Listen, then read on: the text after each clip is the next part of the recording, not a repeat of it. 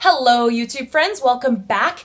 Uh, today we are going to be reviewing Armada by Ernest Cline. Here is some cover arts. I personally listened to the audiobook. It was narrated by Wil Wheaton. He is always amazing when he's reading books. It's so much fun for him, for me to listen to him. He did the Ready Player One audiobook as well. If you want me to review that, let me know down in the comments below because I also really liked that book. But um, Armada is about a young man named Zach Lightman, and he has some anger issues, and he's a nerd who likes to play video games. He likes to play this video game called Armada, and Armada is a uh, flight simulation game which he is number six in the world because it's kind of like a communal thing. It's number six in the world. It's amazing. And then his friends like to play this game called Terra Firma, which is a sister game to Armada. And one day, Zach is sitting in class, kind of zoning out, and he sees an alien ship from the game that he likes to play. And so he's like freaking out, thinking he's going insane. So he. It is a great novel, and I'm going to stop spoiling it for you now. And then I'm going to put up a spoiler thing right about here. So that way, if you don't want to hear my spoilers, you can you can pause or you can fast forward until spoilers is gone.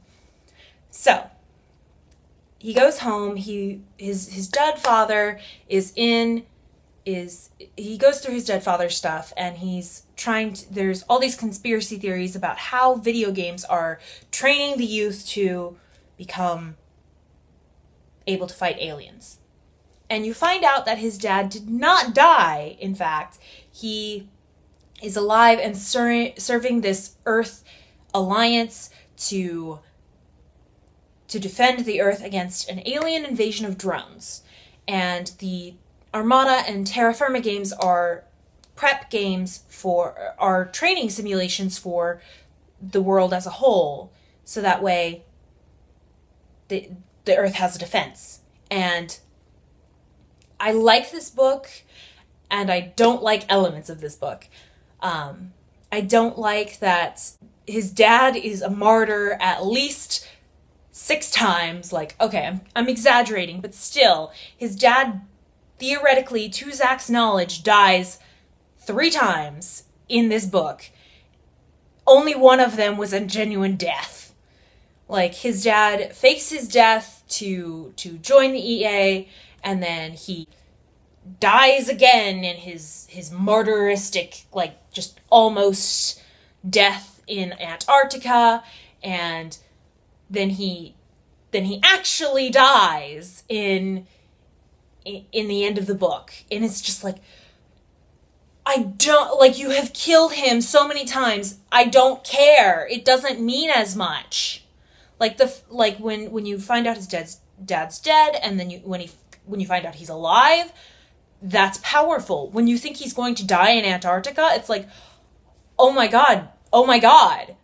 And then you find out he lives through that. It's like, okay, so he's going to live. And then by the third time it's like, bro, bro, you've you've used all of it up. But that being said, I really enjoyed the book. I really enjoyed the the messages of your government can and will lie to you.